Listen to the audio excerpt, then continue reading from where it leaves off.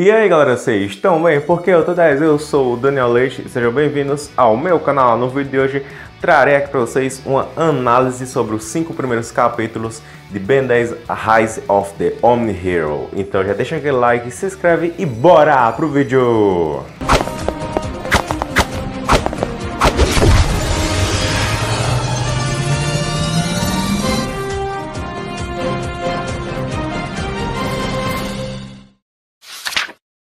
Então, galera, para quem não conhece, Ben 10 Omni Hero é uma fancomic de Ben 10 brasileira que ela conta eventos que aconteceram após o término de Ben 10 Omniverse, onde o Ben chama seus amigos para fazer aquela viagem espacial. Aí aparecem novos aliens, um novo vilão e um novo arco na história do Ben Tennyson. E essa fan HQ ela tem toda uma equipe assim, mais assim, para representar mais. Os criadores são o Alexandre Magno e também o Igrão Dias, que o Igrão já participou aqui do meu canal nos meus vídeos e tudo mais, eu já divulguei o canal dele, né, o Omni Hero Go, só que ele nunca tinha feito mais vídeos a não ser aquele teaser que ele postou no canal dele, mas agora ele fez vídeo novo aí, né, e se você não viu, vou deixar aí no card. E esse roteiro aqui, galera, foi feito aí com a ajuda de um carinha aí também que trabalha no Benes Omni Hero, que vamos chamar ele de Sir64, né, todos os créditos para ele que ele mandou muito bem. Então chega de enrolação e vamos lá. Bom, o primeiro capítulo é o capítulo e então eram 10 de novo, né? Que logicamente isso é uma referência ao primeiro episódio que é o E então eram 10. No caso aqui seria E então eram 10 de novo pelo fato que o Ben ele teve o seu Omnitrix recalibrado novamente e aí ele teve novos 10 alienígenas e são só aqueles que o Ben pode virar no momento, por causa do Omnitrix está fazendo ali o backup e tudo mais, os aliens antigos, mas o Ben, por enquanto, só pode virar aqueles 10 aliens. É uma ideia bem parecida com Alien Force e tudo mais, o Ben só poder usar aqueles 10 aliens, né, para lutar contra um inimigo novo, é bem semelhante aí né, a proposta de Alien Force. Bom, e o episódio ele começa né, com o Ben falando com umas crianças que são fãs dele. O Ben, como sempre, se acha dá um destaque bem grande nessa cena, ah, o Ben, ele, ah, eu sou arrogantão, eu sou o cara, não sei o que, né? O jeito que a gente conhece o Ben. Só que aí chegou o Hulk, o Kevin, a Gwen e a Zed e eles vão né, pra nova Lata Velha, Lata Velha 4. Da o Ben, ele fala né, que a Kai, ela também vai participar, tipo, a Gwen e o Kevin não sabiam, mas a Kai tá aí, né, também para oficializar o relacionamento deles tudo mais, que aparentemente a Gwen e o Kevin não sabia que eles estavam namorando, mas ela também se juntou aí para tripulação, né, vamos dizer assim, para tripulação do Ben Tennyson. Mas só que aí, antes de eles chegarem né, ao destino que eles queriam, que o Hulk fala que eles iam primeiro para Galvan Mark II, só que aí eles acabam sendo interrompidos por causa que aparecem umas naves lá querendo destruir dois planetas e o Ben se transforma no Arraia-Jato, né? Fazendo aí uma referência, ah, o Arraia-Jato ele nunca mais tinha aparecido, né? Em Omniverse ele não apareceu em nenhum episódio, o Ben tentou virar ele no Omniverse, mencionou ele, mas não conseguiu virar. Mas aqui a gente vê ele novamente, dá até uma certa nostalgia de rever o Arraia-Jato, que a gente não via, não via faz muito tempo. Só que aí ele acaba sendo capturado, né? E a gente conhece o vilãozão dessa saga, que é o Galord. Acaba capturando lá uns alienígenas, que todos são os alienígenas que o Omnitrix acaba escaneando e fazendo a recalibração, já que era muito DNA, então para ele poder escanear todos de uma vez, ele teve que se auto-recalibrar, assim, fazer essa nova forma, que, convenhamos, né, galera, ficou uma forma bem da hora aí, né, tipo, um pulheta aí, mó massa, né, eu gostei, eu gostei desse visual dele. Bom, e outra nota é que eles vão estar contra os Omnitans, que, assim, galera, eu não vou dar muito destaque assim para os Omnitans aqui, só vou dizer que são experimentos aí do Galote, que eles são com suas fusões dos aliens e tudo mais. Só que eu, porque eu vou fazer vídeo, eu já prometi no primeiro vídeo de Omni Hero, eu disse que ia fazer, até hoje não fiz, mas eu vou fazer, eu prometo para vocês que eu vou fazer um vídeo falando sobre os Omnitans e tudo mais. Mas enfim, eles lutam, né? eles descobrem aí é, sobre esses Omnitans, o Ben descobre os novos aliens, né? Tipo o Eletrocego, o Elementar, ele vai descobrindo aos poucos os poderes deles. Inclusive eu fiz um vídeo sobre todos os 10 aliens que o Ben possui em Ben Omni Hero, se você não viu, clica aí no card. Mas enfim, aí o Ben ele acaba perdendo, né? Infelizmente ele não consegue resgatar os prisioneiros lá do, lá do Galord e ele acaba ficando com raiva por causa que não conseguiu salvar, que é uma sensação que ele sentiu quando ele não conseguiu salvar, por exemplo, os prisioneiros do Agregor, entendeu? Ele ficou todo pistola, tudo mais, virou enormossauro, deu uma surra no Agregor, entendeu? Então foi um sentimento ali quase que igual e termina assim, né? E a jornada continua. Bom, já no capítulo 2, né? Continuando aí, essa trama aí do Ben tá realmente muito abalado por causa da derrota na nave do Galord. Aí também é oficialmente colocado o Nemetrix Nazed, que foi uma cogitação que o Kevin tinha feito lá no primeiro capítulo, né? Só que a Gwen tinha discutido com ela por causa que ela não queria que a, a Zed sofresse tudo que ela sofreu com o Kyber, mas o Kevin queria proteger ela, né? Com forma de proteção eu queria colocar o Nemetrix novamente na Zed, pra... só que dessa vez podendo controlar, entendeu? Tudo mais. Que é uma coisa que até eu pensei, galera, pra uma continuação de Universo, eu acho que seria legal. Mas enfim, eles acabam indo parar em um planeta de areia, que é o planeta da espécie do Arial. Inclusive o Ben,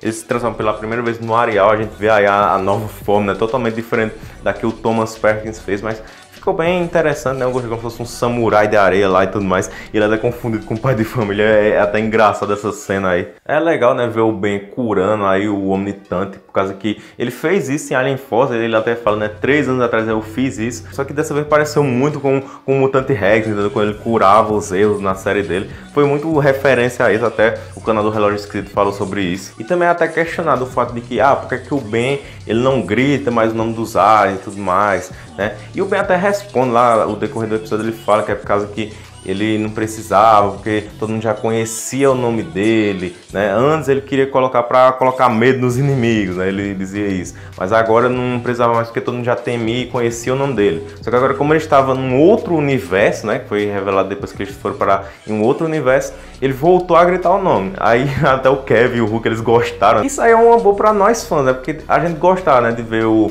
o Ben gritando o nome em Waf em Omniverse, ele não grita o nome e o Hulk representa nós fãs que queríamos que o Ben tivesse gritado o nome em Omniverse, por causa que o Hulk fala que, o Hulk fala que ele gostaria de ter visto o Ben gritar os nomes quando estava com ele. Ele gritava ali uma vez, em outra, mas era muito difícil né, em Omniverse.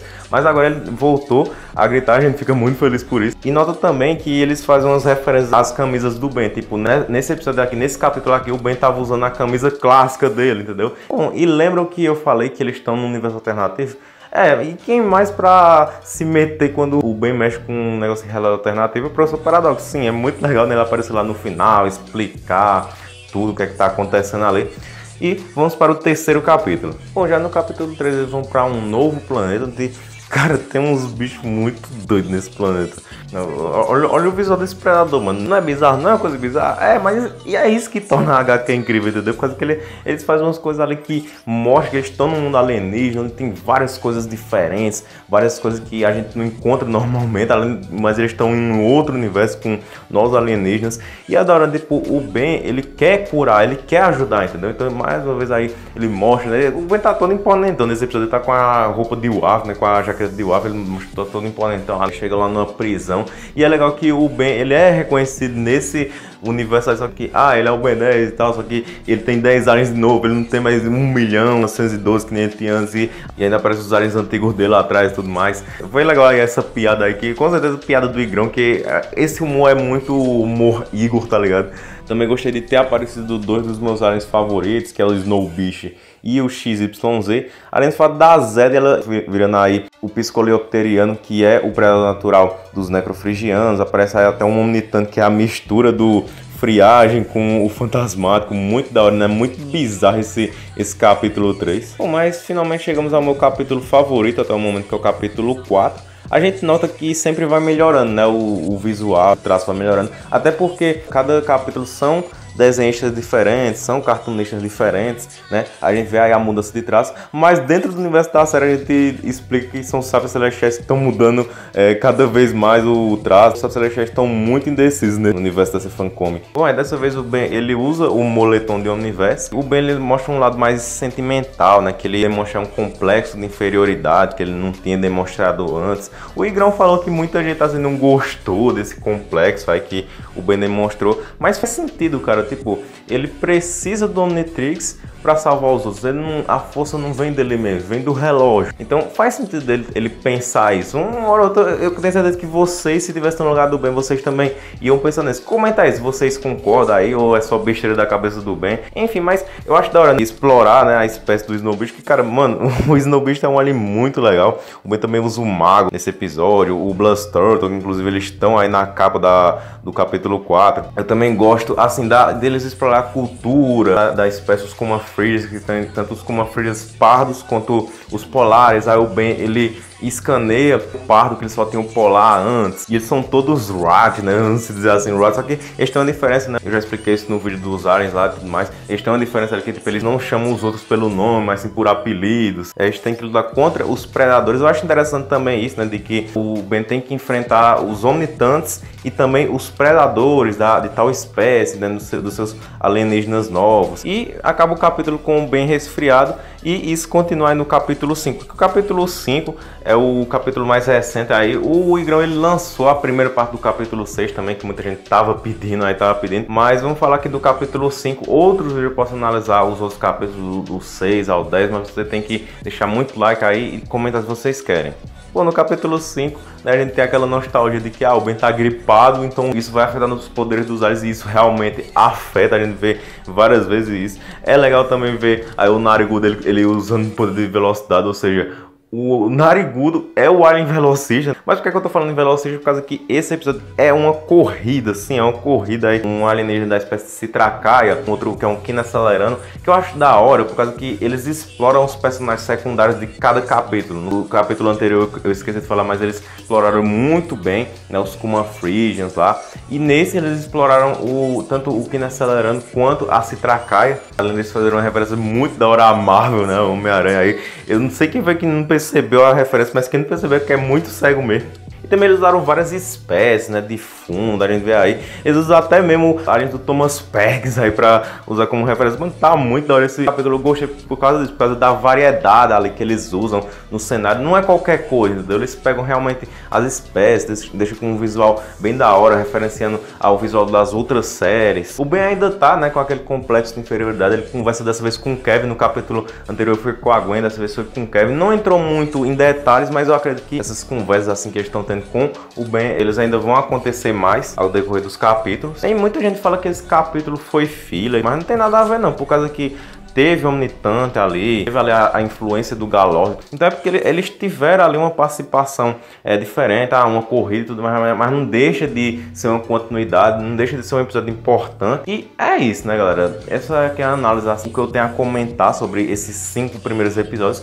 E para concluir, né, ah, Omni Hero realmente vale a pena ver? Cara, na minha opinião, vale sim. Eu sei que muita gente pode comparar, dizer que ou, tem outras melhores aí, uma que continua 5 anos depois de Omniverse e tem um personagem da Nick junto com o Ben, né? Não sei, né? Mas enfim, pra mim, essa é uma fancomic muito da hora. Eu tenho orgulho né, de ser uma fancomic brasileira muito boa que continua os eventos do universo que a gente queria ver. E o Igrão tá de parabéns, né? Isso aqui é um presente de aniversário atrasado pra ele, né, galera? Comenta aí, parabéns, Igrão. Né? E, e também como presente, vocês podem pode se inscrever no canal dele, deixar like, ver o vídeo dele lá. É isso, né, galera? Leia o Omni Hero, vai estar tá tudo na descrição aí. E eu também vou deixar o link na descrição do 064, que foi ele que fez, novamente ele que fez o roteiro desse vídeo aqui. E é isso, deixa aquele like, se inscreva no canal, ativa o sininho, falou e tchau!